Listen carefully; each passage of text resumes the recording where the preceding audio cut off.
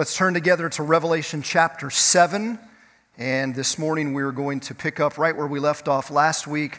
This is uh, really part two of kind of a two part uh, message. So uh, if you didn't hear last week's, I'll do my best to recap it here for you in a moment, but you really probably need to go back and, well, there's no probably, you need to go back and listen to it in order to really make sense of what's going on here. Revelation is an amazing book because it is a book that tells us that God fulfills his promises. It's why we are encouraged by it.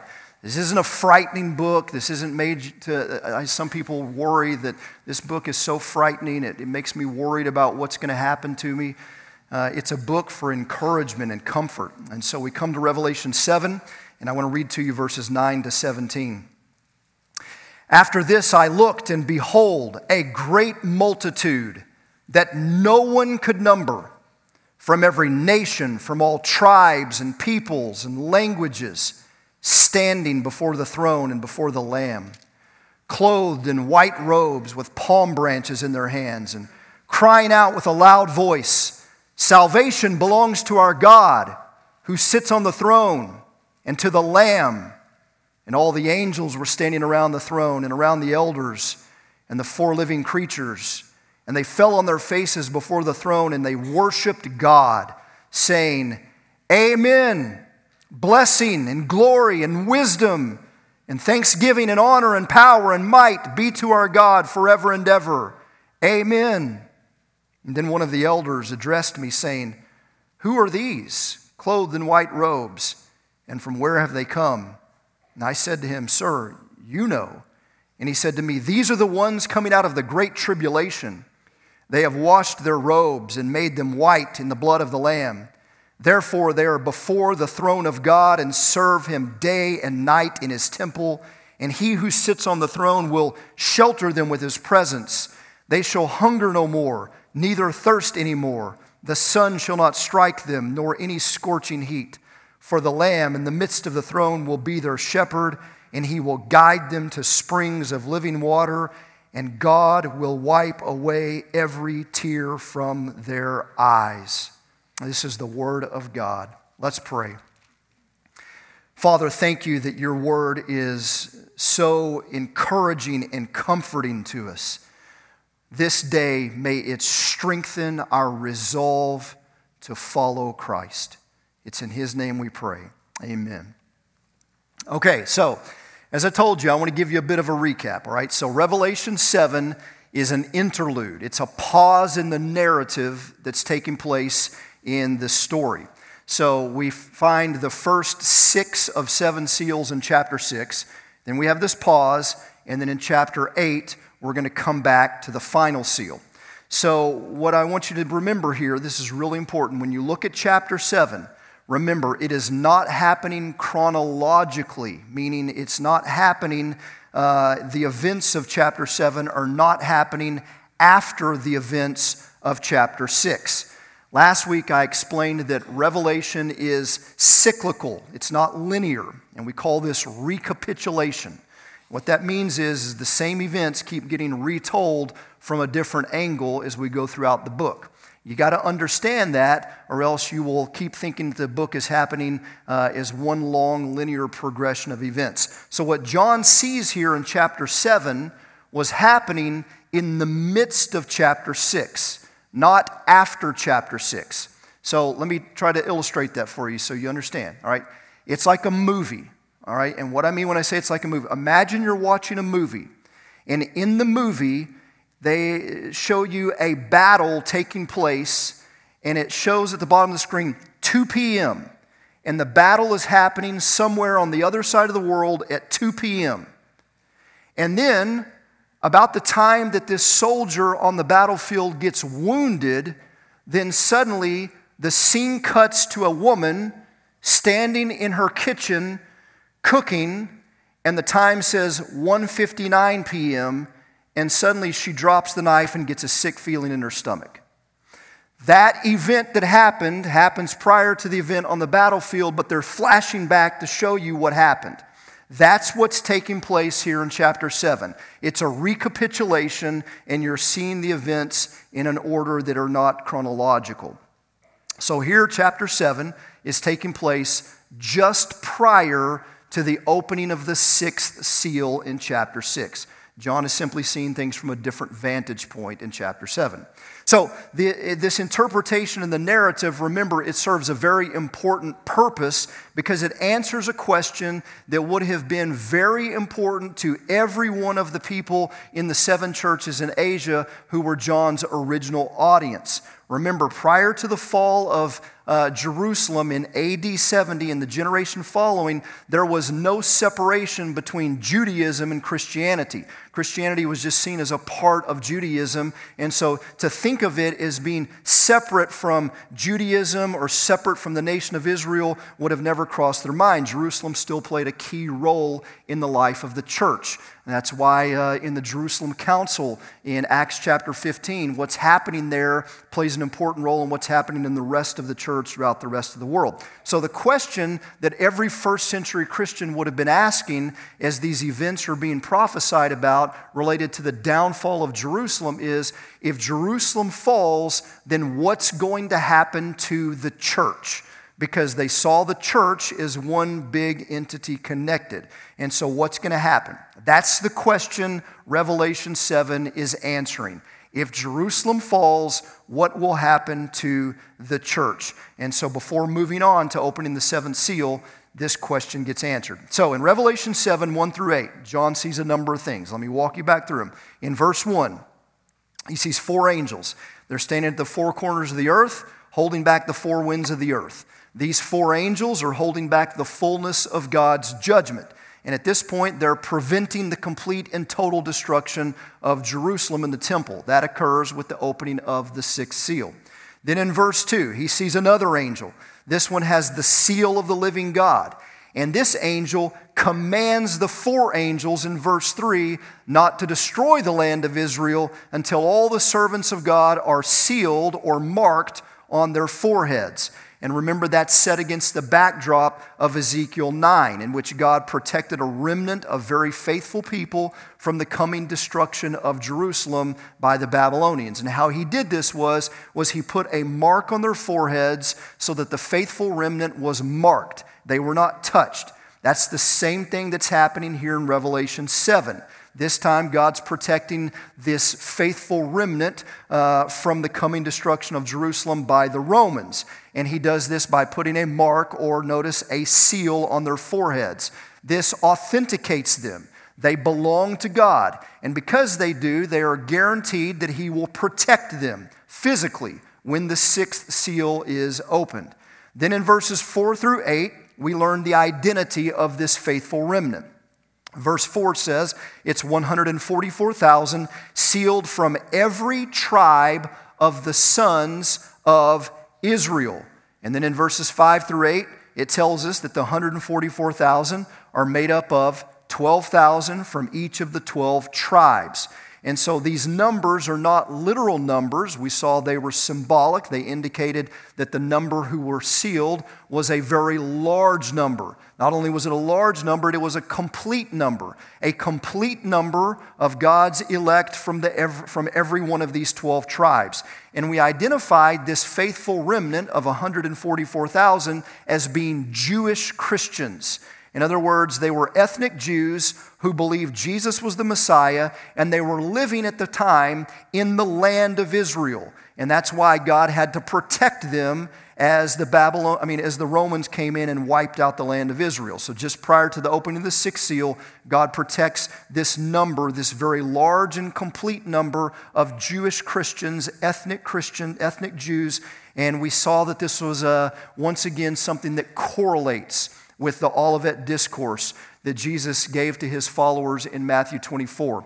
And he told them in the, the parallel in Luke 21 that they were to flee to the mountains when they saw Jerusalem surrounded by armies. Now, we know from history that over a million Jews died in Jerusalem during the siege of the Romans. And we also know from history that there were no Christians who died in Jerusalem during that time. And the reason they didn't is because they had fled the city. And the reason they fled the city is because Jesus commanded them to, and they obeyed him and they did it. And so we saw a correlation between the marking of the 144,000 and what Jesus commanded them in the Olivet Discourse to do.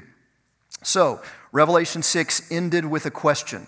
Remember, the question was Who can stand on the great day of the wrath of God and the Lamb? In other words, if Jerusalem falls on that day of wrath, what's going to happen to the church? And so, chapter 7 then pauses the narrative, it backs up, and it shows us the answer.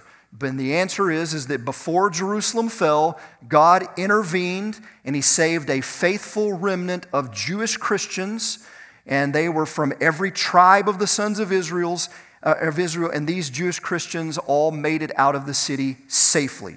And so it was old Jerusalem that was destroyed, but the new Jerusalem was protected by God. This faithful remnant was part of something much, much, much bigger, and it was so big that it couldn't even be numbered.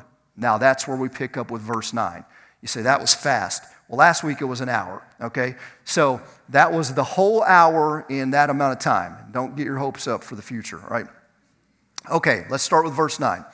After this, I looked and behold, a great multitude that no one could number from every nation, from all tribes and peoples and languages, standing before the throne and before the Lamb, clothed in white robes with palm branches in their hands, crying out with a loud voice Salvation belongs to our God who sits on the throne and to the Lamb. Now, I want you to notice the progression of the vision. Verse 1 After this I saw. Verse 9 after this, I looked.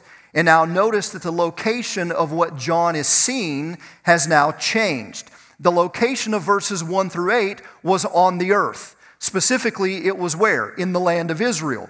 But the location of verses 9 to 17 is now in heaven. It is now, we are told, before the throne of God. Those in verses 1 through 8 were in danger but those in verses 9 through 17 are no longer in danger because they're now with God. They are now in his presence. They are in heaven. That is where God dwells. So after John saw God's protection of the faithful remnant on earth, that was made up of 144,000 Jewish Christians from one nation of 12 tribes, he then sees here a second group. This second group is in heaven. And this group is not made up of only ethnic Jews, it is made up of a great multitude that no one can number from every nation, from all tribes and peoples and languages. So the first group of people that we see in verses 4 through 8 is very distinct in that it was comprised only of ethnic Jews who had pledged their allegiance to Jesus as the Messiah.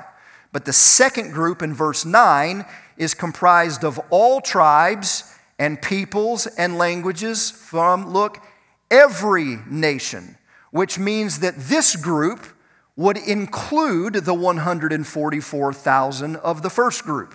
This second group is the true Israel of God, full and complete from every nation, from all tribes and peoples and languages.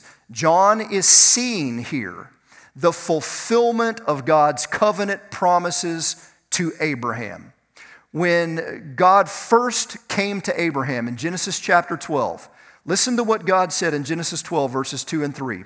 He told Abraham, I will make of you a great nation, and I will bless you and make your name great, so that Oh, so there's a reason you're going to make my name great. Yes, what is it? Well, here it is.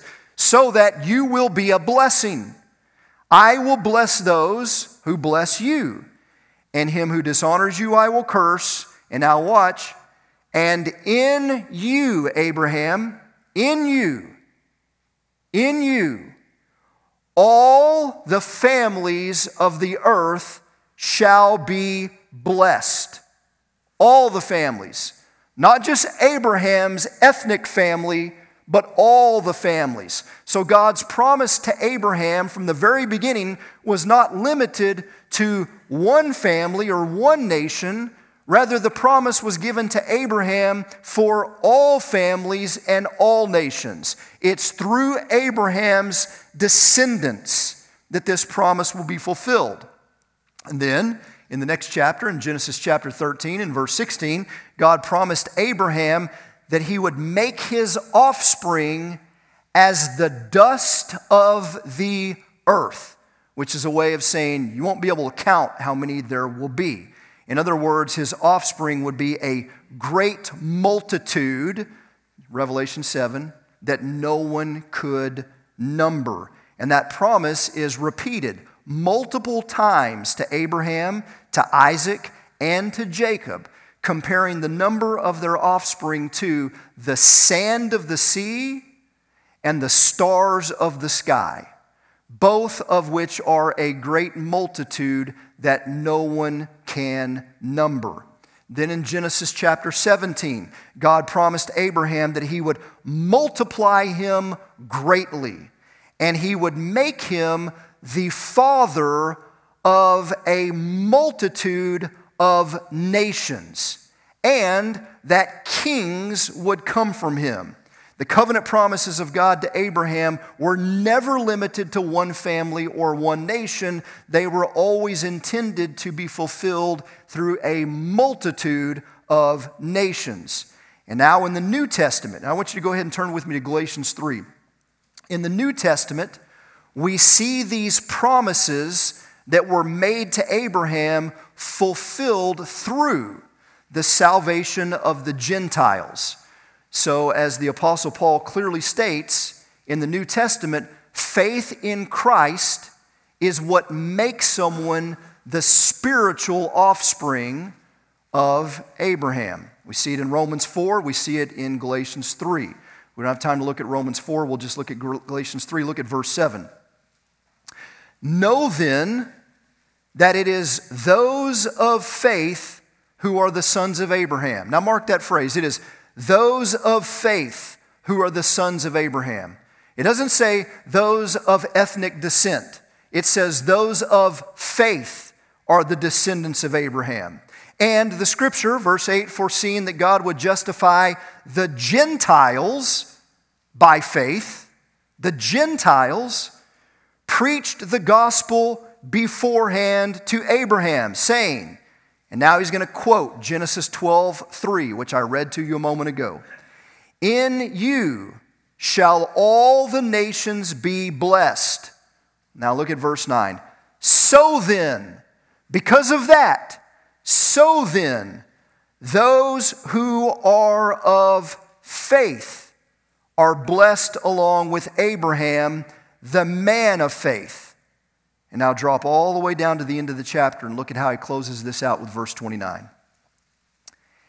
And if, if you are Christ's, then, so we have an if then, if you belong to Christ, then you are Abraham's offspring, heirs according to promise. Now, watch very carefully. If then, if you are Christ's, watch, how many of us who are Christians in this room this morning are of Christ? Well, every Christian. What it means to be a Christian is, is that you belong to Christ. So, watch. If you, sitting right here in this room, regardless of your ethnic descent, belong to Christ, then, if then, you are, you who might be the first one to say, Well, I'm not Jewish, I'm not from Israel, but if you belong to Christ, there's the verse, then you are Abraham's offspring. See that? You are Abraham's offspring. What does that make you? That makes you the true Israel. You are Israel, heirs according to promise. Those who belong to Christ, the church, is the true Israel of God. And it is made up then of both Jews and Gentiles, who, by faith in Christ, together make up the true Israel, heirs of all the promises made to Abraham.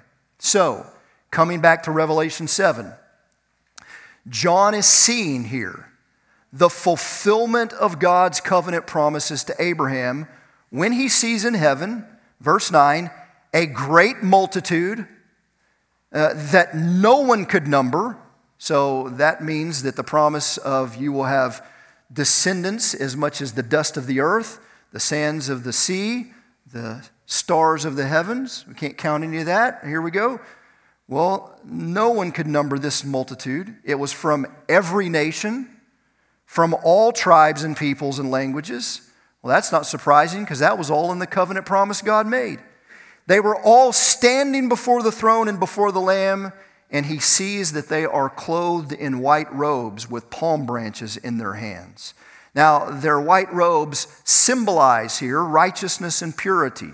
We've seen this throughout Revelation as we learn in verse 14 here.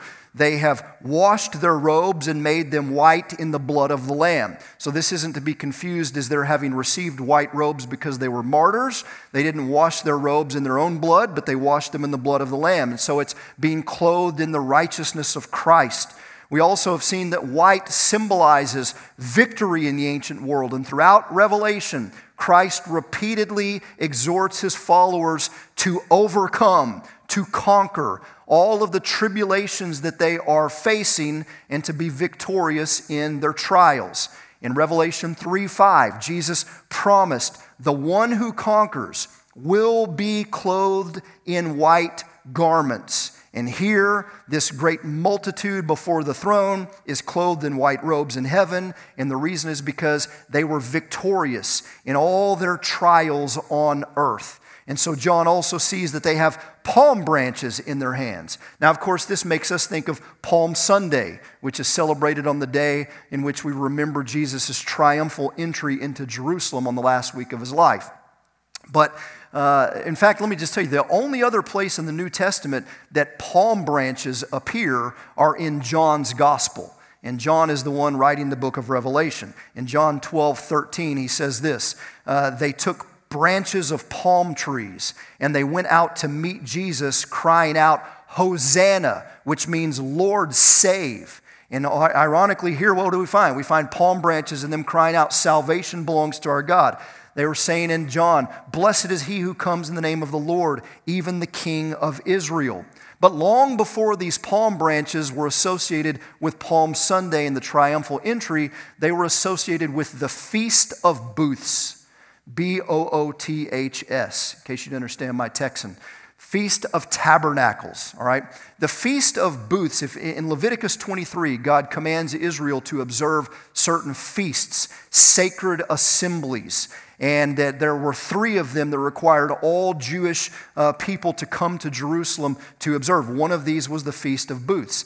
And that feast commemorated God's deliverance of his people from Egypt and his providing safety and protection for them throughout their wandering in the wilderness on the way to the promised land. When they entered into the promised land, they had permanent dwelling places. But when they lived in the wilderness, they didn't have permanent dwelling places. Instead, they made makeshift temporary shelters wherever they would stop. And they would make them out of palm branches. And so the Feast of Booths was a feast in which Israel stopped everything they were doing and they made shelters out of palm branches and they lived in them for one week out of the year, every year, to commemorate and remember that God had delivered them. He had protected them. Glance down at verse number 15 and look at what it says there about this great multitude who has palm branches in their hands.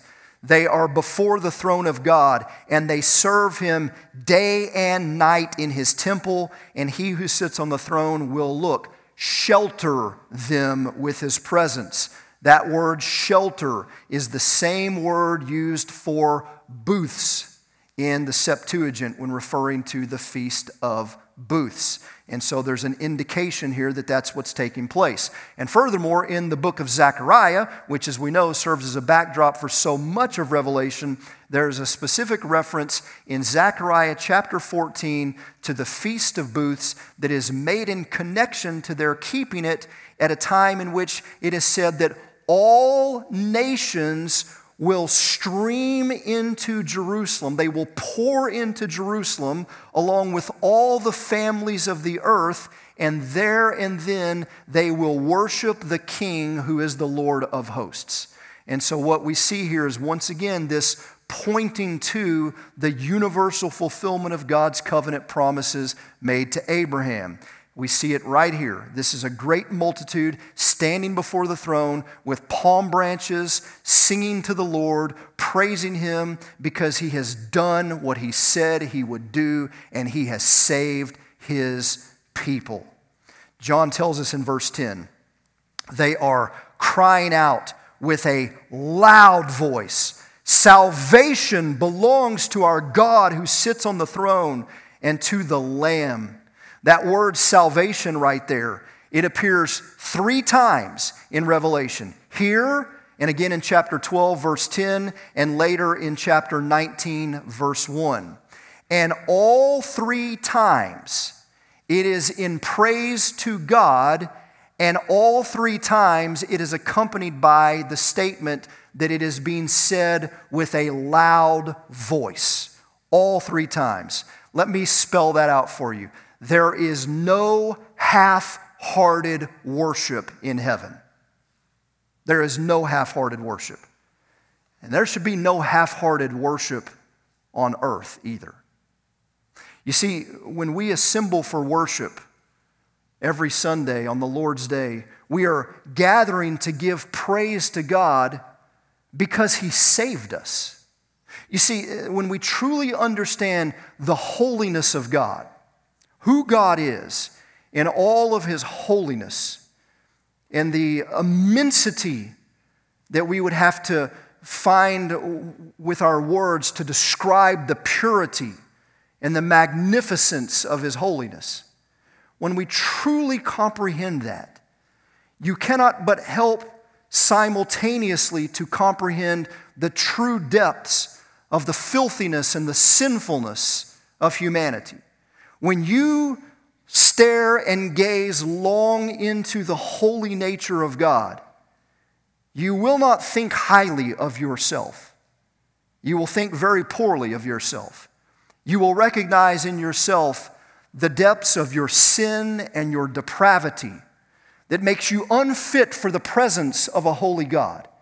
And so to admire Him for His holiness requires and absolutely will bring about a reflection upon your sinfulness that will cause you to say, The only reason that I have any uh, merit whatsoever before Him is because I have the merit of Christ's righteousness given to me. And so I stand in His presence undeserving of this moment.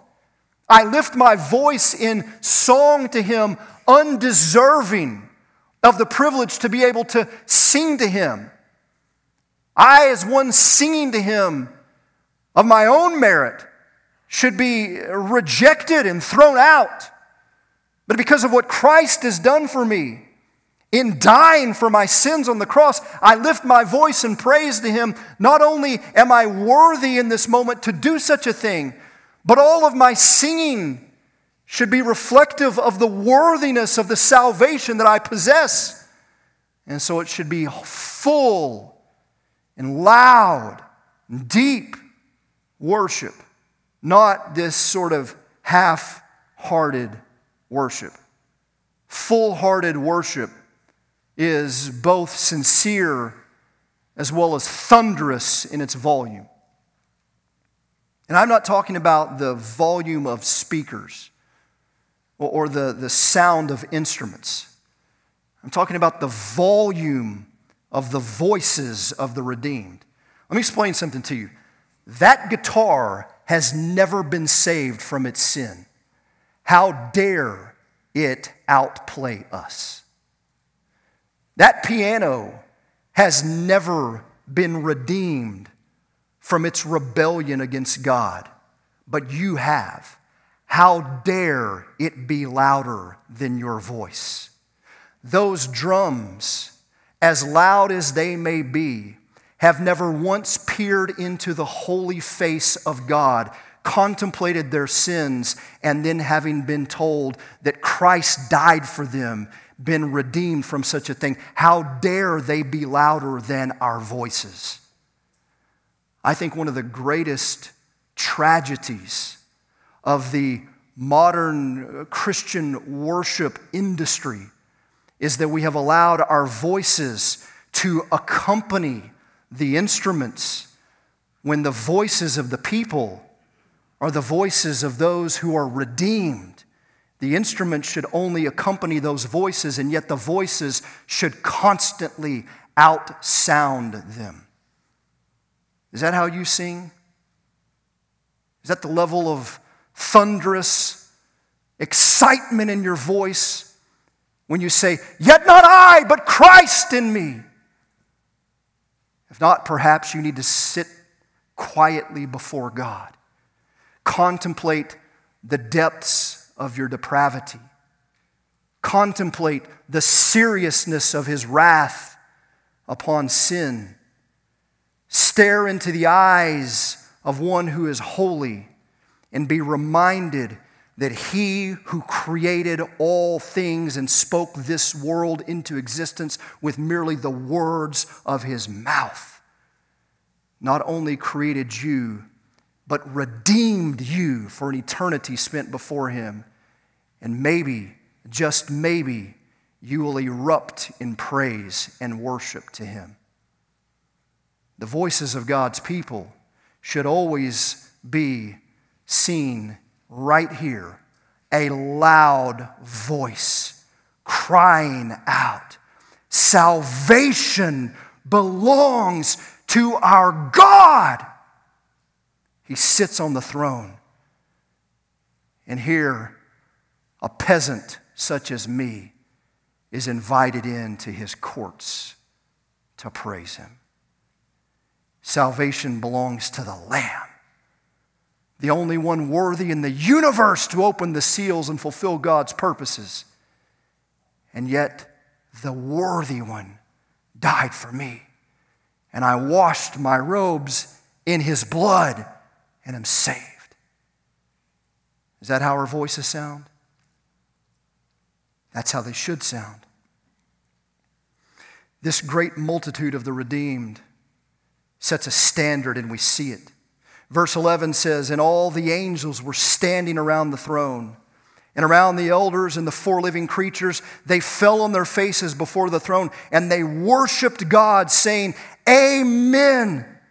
Blessing and glory and wisdom and thanksgiving and honor and power and might be to our God forever and ever.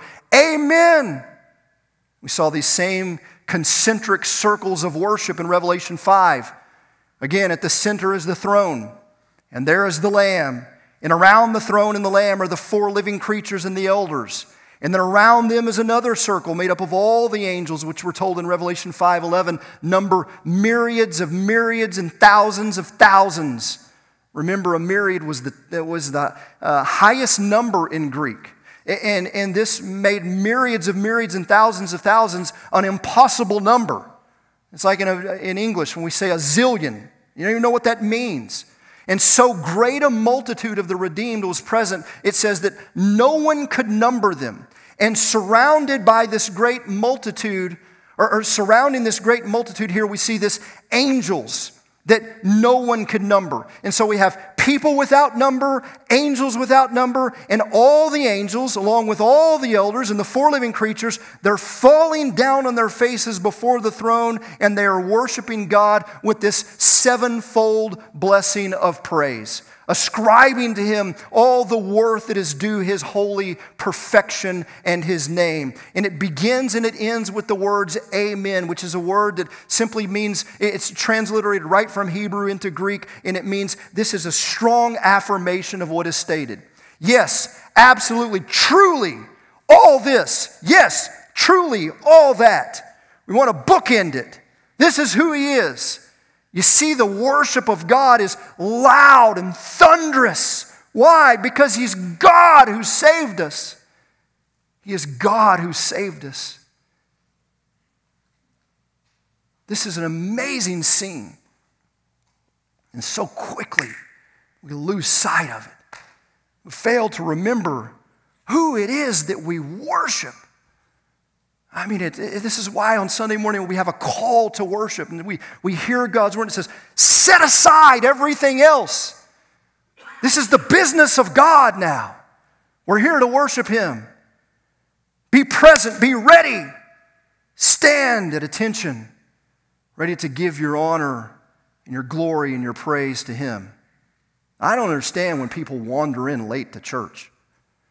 If you think I'm singling you out, well, good. If God the Father descended into this place and sat on a throne, and we said at 9 a.m., He will speak and separate us out from everyone else, and we will worship Him, you would not dare walk in at 9.05.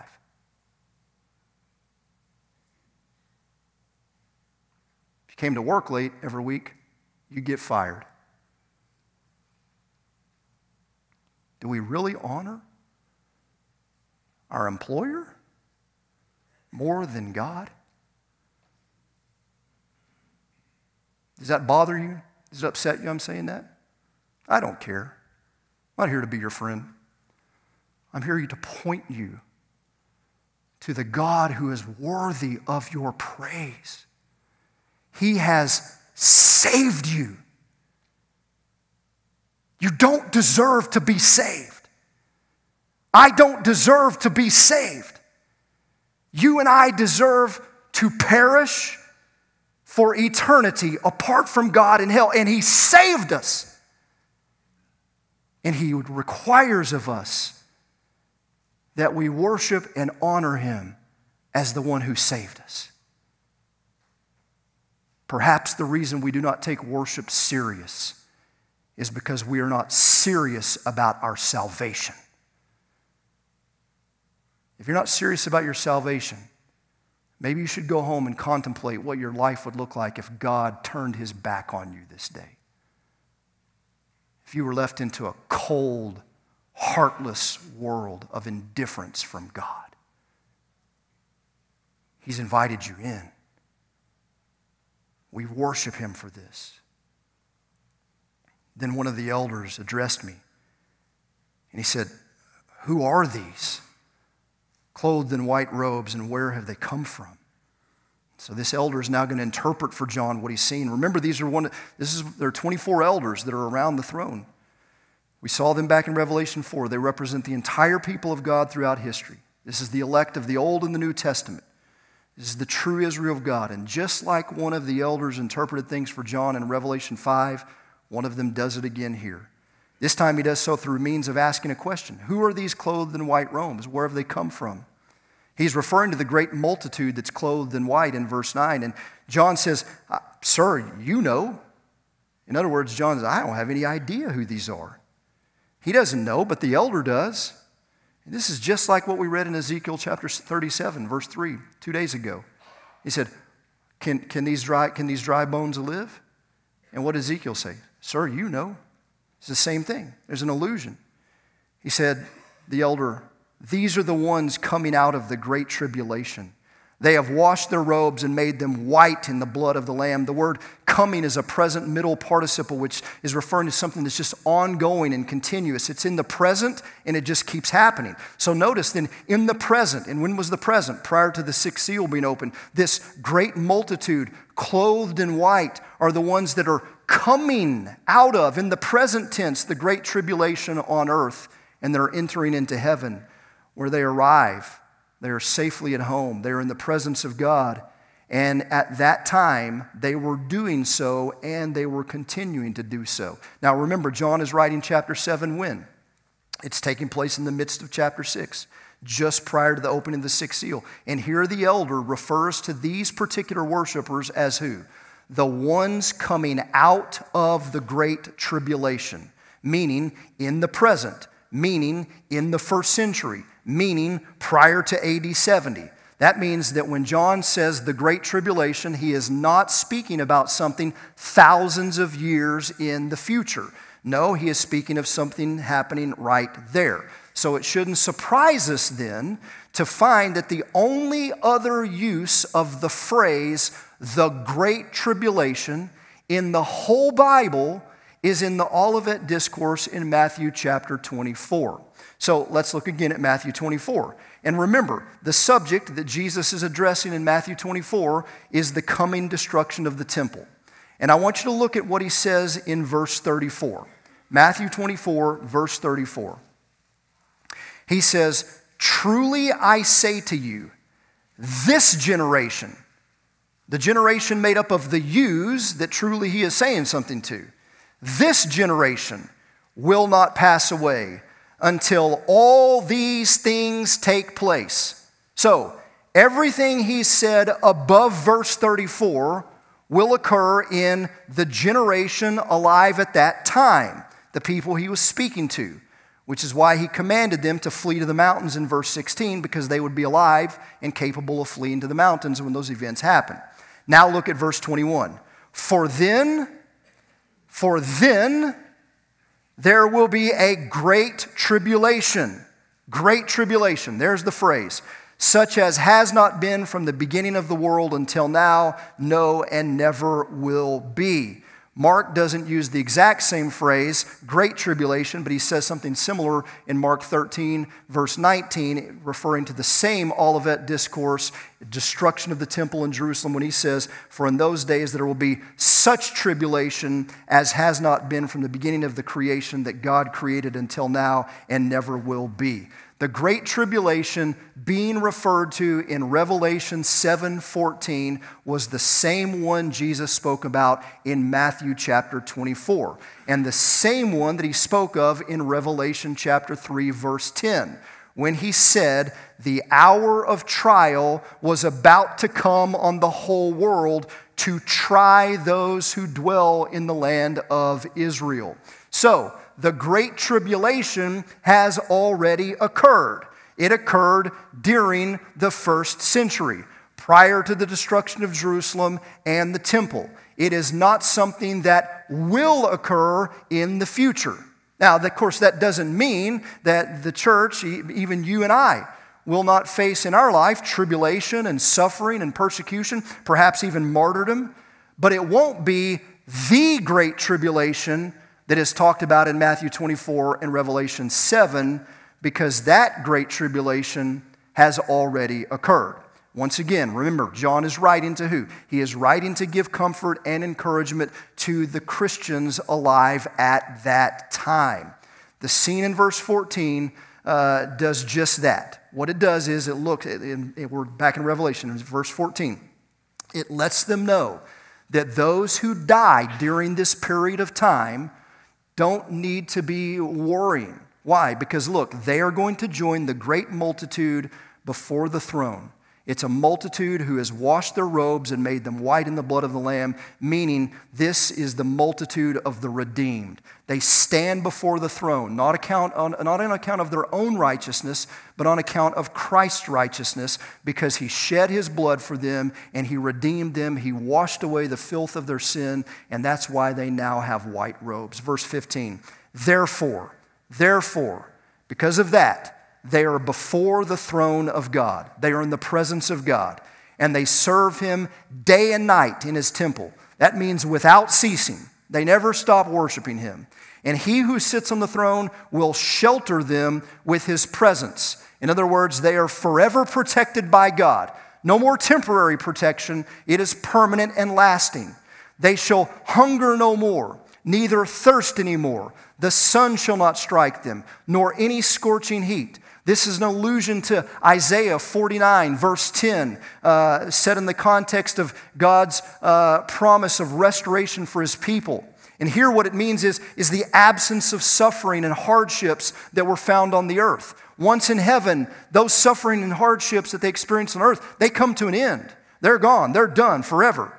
Verse 17 For the Lamb in the midst of the throne will be their shepherd, and he will guide them to springs of living water, and God will wipe away every tear from their eyes. As the church enters into heaven, having overcome this great tribulation, they not only leave behind the hardships of earth, but they are completely restored and refreshed by the Lamb. It's Jesus who guides them to springs of living water. And all these tears of grief are now replaced by tears of joy and relief because they've come out of the tribulation and they left behind all the hardships of the earth. And God wipes away every last tear from their eyes. This is one of the most tender images in the entire Bible. And it serves to comfort and encourage every one of us, no matter if we're these people or us, to patiently endure and to overcome. And the reason is because one day we too are going to enter into the multitude of the redeemed in heaven. And our tears of grief are going to be replaced by tears of relief and joy on that day. And God Himself will wipe away every tear from our eyes this interlude of chapter 7, it served such a powerful purpose for its first century audience because they were about to face, as it says in Revelation 3, the hour of trial that was about to come upon the whole world. And it answered the question for them well, what's going to happen if Jerusalem falls? What's going to happen to the church? And I want you to turn one more time to Matthew 24. I want you to look at one last thing. Turn to Matthew 24 and look at verse 9. And I just want you to remember that when Jesus spoke of the coming destruction of Jerusalem in the Olivet Discourse, he told his followers something very significant about this coming tribulation. In Matthew 24, verse 9, he says this Then they will deliver you up to tribulation, and they will put you to death. That doesn't sound very encouraging, does it? They'll put you to death. You'll be hated by all nations for my name's sake. And then many will fall away and betray one another and hate one another. And many false prophets will arise and lead many astray. And because lawlessness will be increased, the love of many will grow cold. But the one who endures to the end will be saved. And this gospel of the kingdom will be proclaimed throughout the whole world as a testimony to all nations, and then the end will come.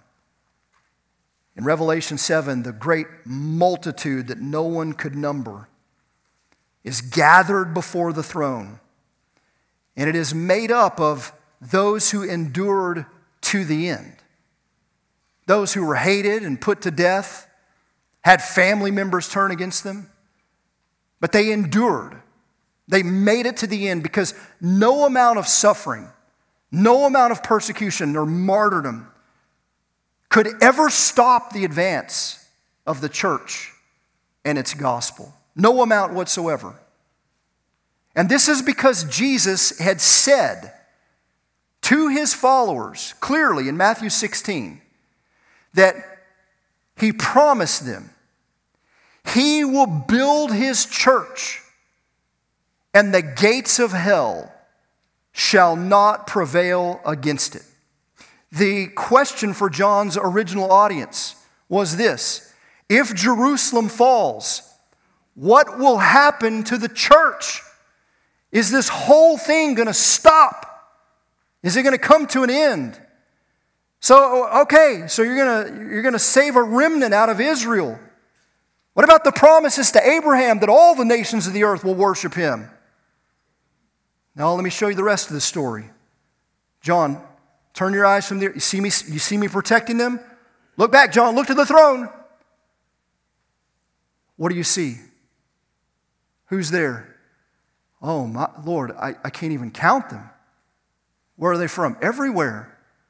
What language they speak? All the languages.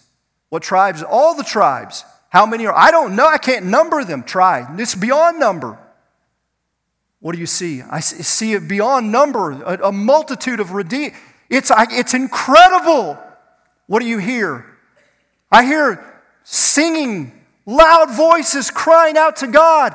You know what I hear, Lord? I hear angels beyond number, joining these saints beyond number. They're singing, Lord. They're singing. What are they saying? They're saying salvation belongs to our God. Why? Because He saved them. Did you see all the stuff happening on earth that was stopping that? Well, I saw they hated all those people. They killed them. They put them to death. Their families turned on them. Did it stop the gospel? Obviously not, Lord. Look at this. Look at this. Look at this. Well, how do you think this happened? Because they kept killing them. They kept stopping the, the, the gospel. Didn't they keep stopping the church from spreading? Well, no, Lord, they couldn't do that. Why? Well, because Jesus said he would build his church and the gates of hell would not prevail against it. You mean that Jesus said that he would advance the church right past the gates of hell and nothing would stop it? Yes. And did he do it? Yes, obviously. Look, there they all are. If Jerusalem falls, what will happen to the church? The booming answer that comes from the throne of heaven is clear. If Jerusalem falls, the church will still triumph. It will not be stopped. The gospel of the kingdom will be proclaimed in all nations to the whole world, and then the end will come, and it will result in a great number of people being saved, so many that no one can number them. And friends, we must not forget this in our own day. You and I cannot forget this. We cannot forget. We must not be so foolish as to sit around biting our nails, asking foolish questions like, well, what if we lose our freedom? What if America falls? What if we're persecuted? What's going to happen to the church? These things have no impact, no impact whatsoever on the ultimate triumph of the church. Christ reigns. Christ reigns, and he will continue to reign. And there is nothing that will stop the spread of the gospel. Nothing. Nothing will stop its power to accomplish the saving of a great multitude that no one can number. Listen, sit right where you are right now and say to yourself, Jesus promised he would build his church. Nothing can stop the advancement of the gospel. Nothing, nothing, nothing. Listen to the words of Charles Spurgeon, the great Victorian preacher, who once told a group of missionaries I myself believe that King Jesus will reign and the idols will be utterly abolished. But I expect the same power which turned the world upside down once, will continue to do it. The Holy Spirit would never suffer the imputation to rest upon his holy name that he was not able to convert the world. Have you ever thought about that? that the conversion of the world rests upon the Holy Spirit's reputation to do what he was sent to do? You think he'll fail? You think Jesus will fail to save those that he died and shed his blood for? Do you think the Father will fail to save those whom he chose before the foundations of the world? Never will they fail. The entire triune Godhead will bring about the success of the gospel. You have to stop being uh, a person who, who, in pessimism, gives so much credit to the wickedness of humanity and such little credit to the power of God. Oh, I look at the world and things are getting so bad. I don't see how the gospel is really going to change much. Well, you have more faith in wicked people than in the sovereign power of God to save. Write this down, engrave it on your heart, and never forget it. Jesus Christ will succeed. Jesus Christ will succeed. In the words of 1 Corinthians chapter 15, verses 24 and 25, then comes the end when he delivers the kingdom to God the Father after destroying every rule, every authority and power, because he must reign until he has put all his enemies under his feet. Friends, listen Jesus Christ will succeed. He will succeed.